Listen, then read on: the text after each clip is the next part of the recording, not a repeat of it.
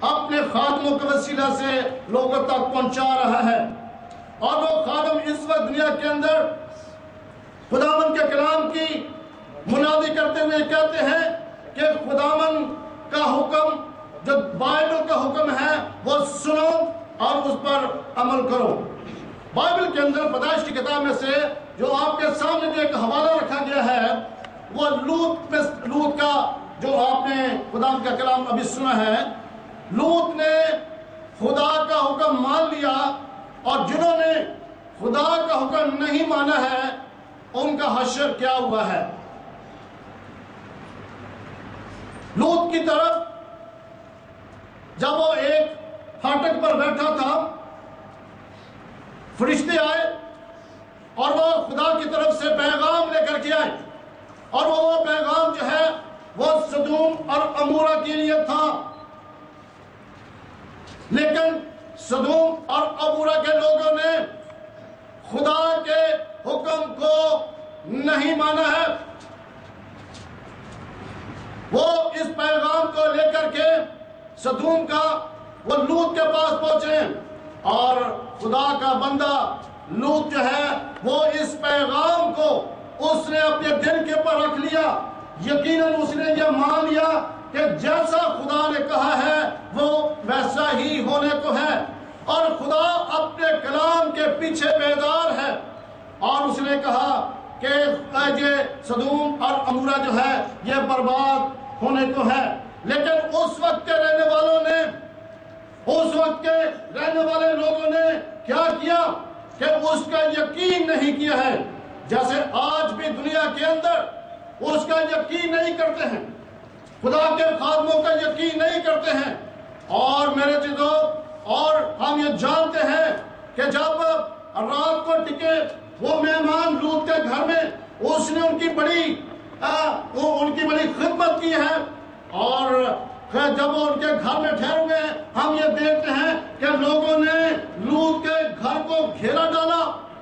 اور کیا خدا کا کلام یہ کہتا ہے کہ وہاں پر چوتھی آیت کے اندر لکھا ہے کہ کیا جوان اور بڈھے لوگ جو ہیں چوتھی آیت کے اندر، انہوں نے کیا کیا؟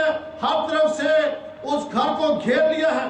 میرے جدو جیسے اس وقت کے جوان اور بڈھے لوگ اس طرح کا، اس طرح کی گندگی کے اندر لت پت تھے۔ آج بھی دنیا کے اندر، میرے جدو نہ تو ٹین ایجر جو ہیں اس بدی سے باز آتے ہیں، نہ بڈھے اس چیز سے باز آتے ہیں اور نہ جوان اس طرح کی بدی سے باز آتے ہیں۔ اور جب اس طرح کی گندگی دنیا کے اندر پھیل جائے تو خدا اس گندگی کو دیکھ نہیں سکتا ہے۔ آج بھی ایسا ہی ہے، پوری دنیا کے اندر ہم دیکھ لیں۔ میرے دیکھو اس وقت بدی جو بہت بڑھ چکی ہے۔ بدی ہر صورت پر بڑھ چکی ہے اور خدا اس وقت آسمان سے دیکھ رہا ہے۔ خدا دیکھ رہا ہے۔ ہم یہ نہ کہیں کہ دنیا کو خدا نہیں دیکھ رہا میرے تو خدا دنیا کو دیکھ رہا ہے اس وقت۔ ہم کیا کریں؟ ہم چھپ نہیں سکتے ہیں۔ اگر ہم چھپنے کی کوشش بھی کریں، ہم چھپ نہیں سکتے ہیں۔ دنیا کے اندر کوئی بھی شخص جو ہے، وہ چھپ نہیں سکتا ہے۔ خواہ وہ امریکہ کے اندر ہے۔ خواہ وہ کینیڈا کے اندر ہے۔ خواہ وہ اس وقت ایشیا کے اندر ہے۔ دنیا کے اندر جتنا ظلم، جتنی اس وقت گندگی ہے، خدا اس سب کو دیکھ رہا ہے۔ اور خدا کی یہ مرضی ہے کہ انسان اپنی بدی سے باز آ جائے۔ انسان ان تمام گندے کاموں سے باز آ جائے۔ لیکن انسان اس وقت دس سے مس نہیں کرتا ہے۔ میرے دنوں انسان کی یہ اس روش کو دیکھ کر خدا کو بڑا غصہ آیا اور خدا نے اس صدوم اور امورہ کو برباد کرنے کے لیے اس نے ٹھان لیا اور خدا کے بندے جو ہے فرشتے، انہوں نے کیا کیا؟ انہوں نے کہا، اٹھو، نکلو، اس شہر سے باہر آ جاؤ۔ آئے میرے پیارے بندے، لوت تو اس گھر سے، اس جگہ سے نکل چل۔ لیکن لکھا ہوا ہے کہ لوت نے نکلنے کے لیے دیر لگائی دیر لگائی۔ لوت بھی جو ہے، وہ الجھا ہوا ہے۔ خاندانی رشتے دار ناتوں کے اندر بیٹیوں کو لیا دامادوں کو لیا اور وہ ان کی نظر میں بڑا مضحک سا معلوم ہوا۔ وہ یہ سوچتا ہے کہ میں یہاں سے نکل جاؤں، لیکن اس کا خاندان ان ساری مشکلات کے اندر پھنسا ہوا ہے۔ خداوند ان کو ساری مشکلات سے آزاد کرنا چاہتا ہے۔ خداوند ان کو اس ساری پریشانی سے آزاد کرنا چاہتا ہے۔ اور کیا خدا کا کلام کہتا ہے سولہویں آیت کے اندر؟ لکھا ہوا ہے کہ اس کی بیوی اور اس کی دونوں بیٹیوں کا ہاتھ پکڑا۔ کیونکہ خداوند کی مہربانی اس پر ہوئی اور اسے نکال کر شہر سے کیا کیا؟ باہر کر دیا۔ وہ نکل نکلنے میں تاخیر کر رہے ہیں۔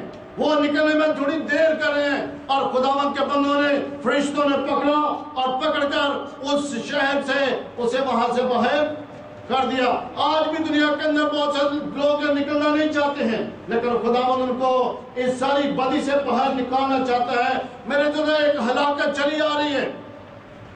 ایک ایک ہلاکت چلی آ رہی ہے۔ لیکن آج بھی دنیا سننے کے لیے تیار نہیں ہے۔ اور جب خداوند کے پلان کے مطابق ان ان بندوں کو، ان بندوں نے پکڑ کر لوت کو باہر نکال دیا، اب لوت ایک اور ریکویسٹ کرتا ہے۔ ریکویسٹ اس کی یہ ہے کہ کیا کیا جائے؟ میں اس پہاڑ تک نہیں جا سکتا ہوں۔ مجھے کیا کیا جائے؟